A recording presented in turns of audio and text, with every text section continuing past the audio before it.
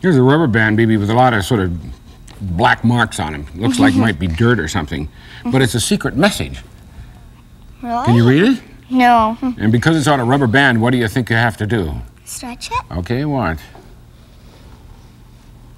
what does it say? Secret message rubber band. Yes. So obviously I wrote it when it was stretched like that, and then when you let it go back, it squeezes all the letters together mm-hmm. until you can't read it. Neat. The way to do it, that's easiest, is to stretch the rubber band on a ruler like this. Here, write uh, something like a W or something on the ruler.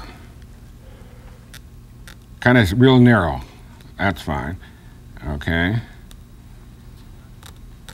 Okay, so now you see, you can write your whole message with it when it's stretched like this. And now when you take it off, there's the W you wrote. So you obviously should make them skinnier than that, right? Yeah. In fact, uh, how about skinny like that? Can you read it? No. What do I have to do? Stretch it. Here it comes.